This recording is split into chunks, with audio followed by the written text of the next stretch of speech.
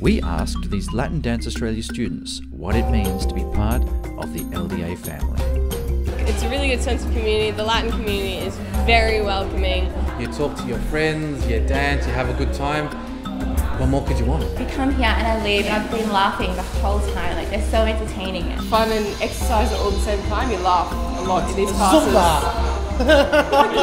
I can get on a bus and get to Zumba class straight after work. Every night you can have three hours of different kind of dancing. We've never done dancing before, ever. But we can dance salsa after eight weeks. Uh, my favourite dance. I actually do them all here at the moment. At the moment, it's samba. It's really energetic and fun and makes me sweat. The sense of family amongst the samba girls is super strong. Overall, I have to say salsa, just because I like doing different turns. It's just fun, vibrant, out there. The music is just amazing and so exhilarating and so happy.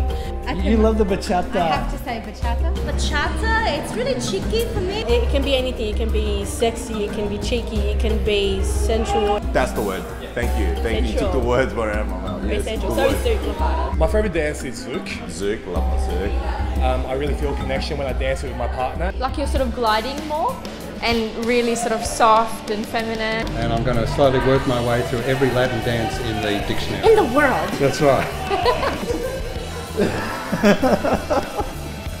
I am. We are. I am. We are. I am. I am. I am. I am. We are We're the- part of. The LDA. The LDA. The LDA. LDA, LDA family. Family. We are part of the LDA family.